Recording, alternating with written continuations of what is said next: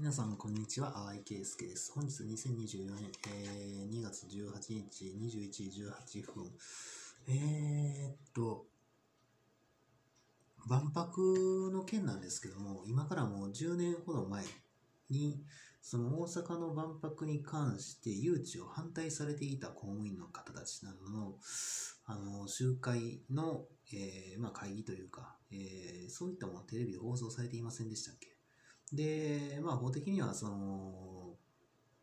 政治参加っていうものは基本的に、まあ、公務員を降りて、立候補して、で、そこ、まあ、うん、そうですね、公務員を降りて、それから立候補、立候補した瞬間からっていうことなんですかね。基本的にはそうなってますよね、皆さん。公務員を降りてから立候補されてますよね。だから、それ、その方式じゃなかったら、万博とかいう余計なものを開いて、で、大阪府の公務員の人たちの賃金が低下すると。そういうような、あのシステムを導入しなかったら、公務員の人たちも賛成してしまうじゃないですか。反対意見を出せなくなる。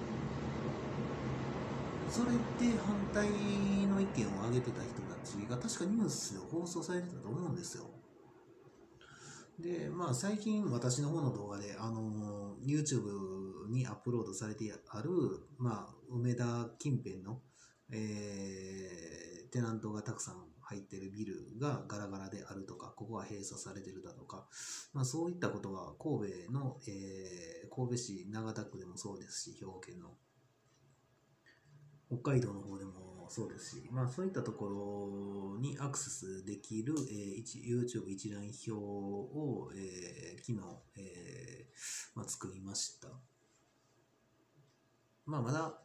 うん、アクセスできる動画5つぐらいなんですけども、まあもう日本中どこもそうだと思いますよ。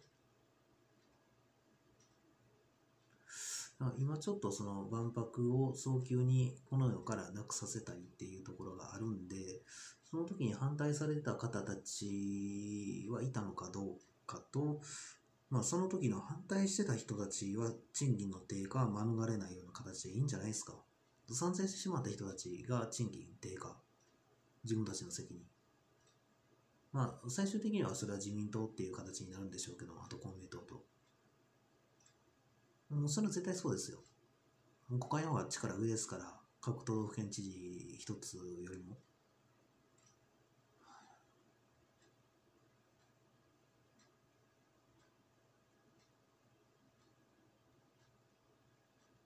なぜこのような事態になってしまったかっていうところを一つ一つしっかりと検証することですね。もう今日もテレビのニュースで、うん岩手県の、あのー軽犯罪法、軽犯罪法違反の、えー祭り、えーふんどしで何か、何かの袋を取り合いしてる。昔からあれテレビで放送してますけど、だいぶ前に終わったでしょ。だいぶ前からですよ。あのー昔ね、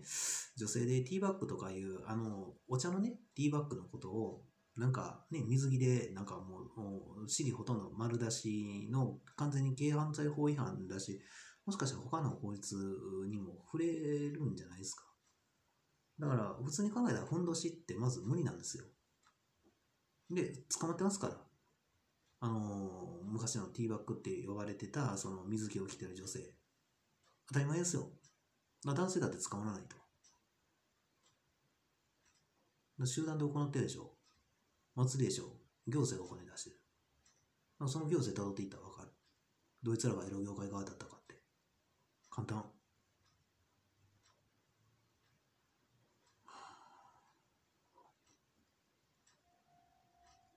あれ、本当のところ何年に終わりました？今日のニュースで何かそういうふうなものがね、えー放送されてたんですよ。